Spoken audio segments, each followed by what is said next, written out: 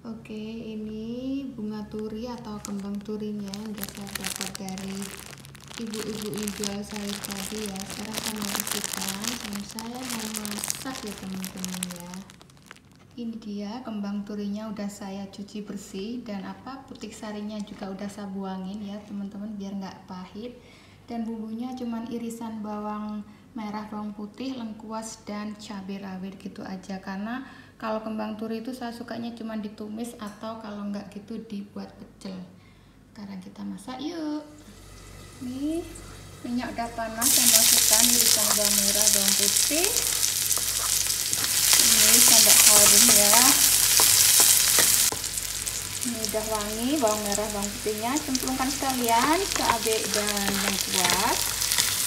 Aduk-aduk dan supaya saya tidak bersin saya tambahin sedikit gula pasir ya. Biar tetangga saya tidak ikut bersin teman-teman. Oke ini bumbu udah matang ya dicemplungin aja bunga turinya lalu kita aduk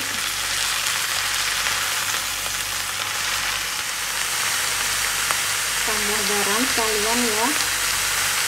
Tutupnya tambah penyedap rasa atau kaldu ayam bila suka dan tambah sedikit uh, kaldu jamur ini ya teman-teman. Oke ini kembang turinya udah mateng gini aja ya. Tadi udah nggak saya kasih air ya karena itu mengandung air bekas tadi dicuci masih meresap jadi nggak usah ditambahin air.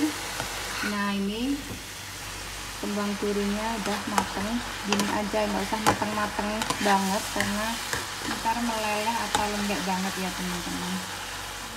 Teman-teman uh, oseng kembang turi saya udah mateng dan saya itu suka cuman ditumis gini aja dan saya makan sama nasi. Ini saya selalu pakai nasi merah ya teman-teman. Nasi putih juga lebih mantul dan ada temennya tempe goreng. Ini udah masakan favorit ala kampung dan ini masakan yang paling saya suka sederhana dan enak tentunya bagi saya teman-teman. Terima kasih yang sudah menonton. Jangan lupa yang baru bergabung kalau suka like komen dan subscribe.